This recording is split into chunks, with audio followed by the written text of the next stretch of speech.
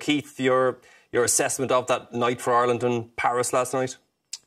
Yeah, Bernard, I, I think, uh, like everybody, I think we, I looked around the team and I think everybody gave their all, everybody worked hard it's just the endeavour, that little bit of guile, that little bit of class we need to open teams up. There was once or twice when we won the ball and you're thinking we need it, we need a sharp pass forward here, we need to play through the lines because the French juggler was shown at times when he did lose the ball, but a forced pass is often backwards and sideways, which allows the French to get back into a very their defensive block, and they haven't conceded a goal so far in the European qualifier, so it was always going to be a really uphill battle we knew that man there, and Mbappe, was going to be going to be tricky to try and defend. But Dembele on the other wing was absolutely brilliant. Gave Enda Stevens a, a nightmare of a night, and then obviously uh, we, we changed the left back. Uh, McClean comes on, and again it's the same thing. Dembele just running past him for fun, time and time again.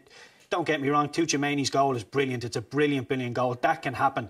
I'm more disappointed with the start to the second half. You know, Stephen Kenny saying, "Stay in the game, lads don't give the man stay in the game uh, until the last 20 minutes as we're coming down the home straight. It's a brilliant, brilliant finish. But we, it's the, as I say, sorry, Brendan, it's the start of the second half. It was just too sloppy, and we do it time and time again. It's a red zone as we start the second half.